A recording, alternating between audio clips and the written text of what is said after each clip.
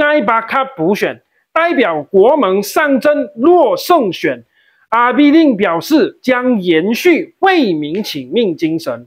Hello，大家好，我是巧斌，今天是父亲节，祝大家父亲节快乐。那今天伊斯兰党国盟那边推出了他们自己的候选人，这个候选人叫阿比令，今年五十六岁，是一名物流主管。与此同时，他还有另外两个身份是我们非常值得关注的。第一，就是他是槟城高渊国席的伊斯兰党区部副主席；第二，他是这一个前任苏埃巴卡州议员洛詹比里的特别助理。换言之，他是陪着上一任州议员一起打江山、一起服务选民的。因此。他深受当地选民的认识，这个是根据伊斯兰党的说辞啊。那现在我们来对比一下双方候选人，公正党跟伊斯兰党的数值。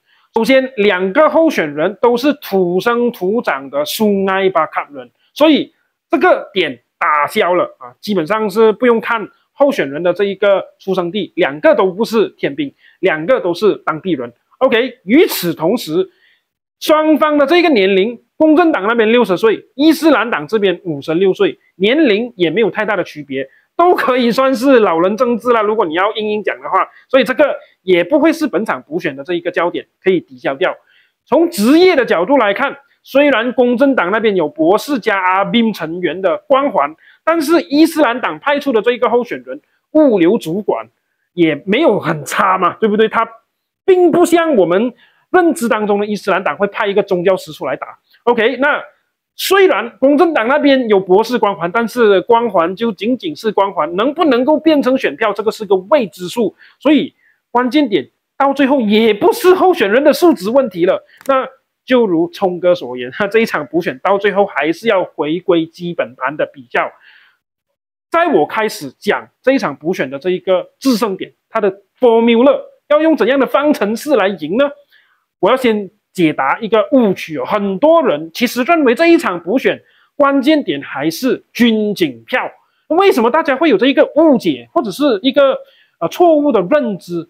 是因为我们看了上一场新古毛的补选，哎，军警票大量倒戈给西蒙，百分之八十的军警票倒戈给西蒙。相比起六州州选，只有百分之二十的军警是投给西蒙的，所以我们这一次新古毛可以大胜。所以，因此，苏艾巴卡如果可以复制，那再好不过，我们也能够靠着这一招，能够赢下这一场补选啊！这个是大家的如意算盘。可是啊，小弟今天不好意思要泼大家一下冷水啊！军警票绝对不是这一场补选的关键，因为苏艾巴卡的军警只有五十七张票，而新古毛有八百张啊！所以你了解了过后，就这个军警其实。对苏埃巴卡这一场补选基本上是没有任何的影响的。当然，我们不否认从军警的票箱，我们可以再一次去验证到底军警的投票倾向是不是依然百分之八十支持西蒙，百分之二十支持国盟。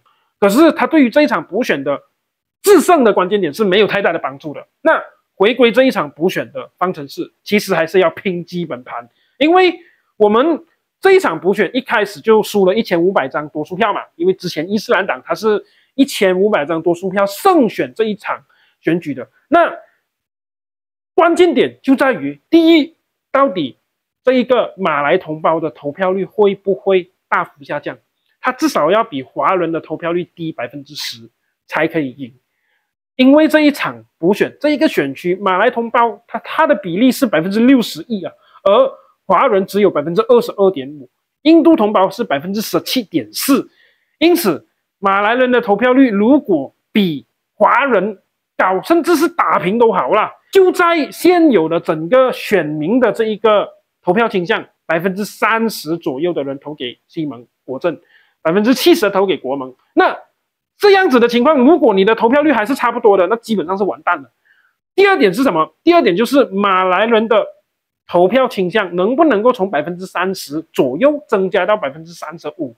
上一场。六州州选，苏艾巴卡这一个选区，我算了一下，公正党的马来票大概在百分之三十二左右，所以距离百分之三十五还有大概百分之三的距离，我觉得是能够有机会拉回来的，因为安华给公务员涨薪了嘛，而且这一个乌统如果能够去拉回一些原本投给乌统，但是后来在周选的时候投给伊斯兰党的那一个人啊，这些人没有那么支持伊斯兰党，他可能只是那个时间点很讨厌乌统，所以把票投给了伊斯兰党。现在已经经历了差不多一年左右的时间，会不会有所转变啊？这个也是一个值得我们研究的事情了。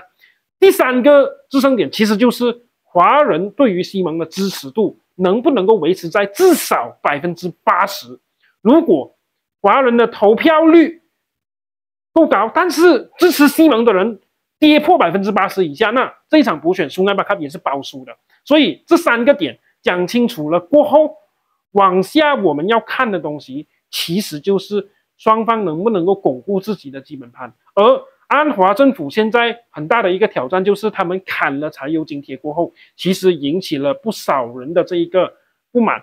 所以你讲这一场补选，政府有没有赢的这一个机会？有。OK，我从来没有讲过他们包胜啊。钟哥看了我的标题，可能有点误会了，有赢的机会。但是，像我刚刚讲的那三个关键点是缺一不可的，少了其中一个，基本上这一场补选还是伊斯兰党会赢回去的。那最后，最后这一场补选会不会有很多人不出来投票？我觉得这个也是我们要看的。